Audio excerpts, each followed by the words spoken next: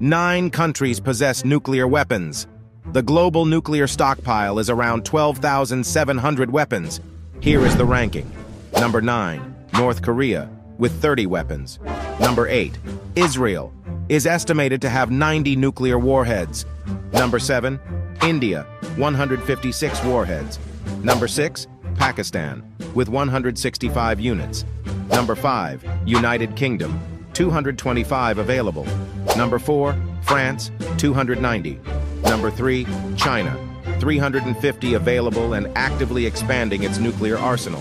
Number 2, United States, has a total of 5,244 nuclear warheads. Number 1, Russia, with a total of 5,889 nukes.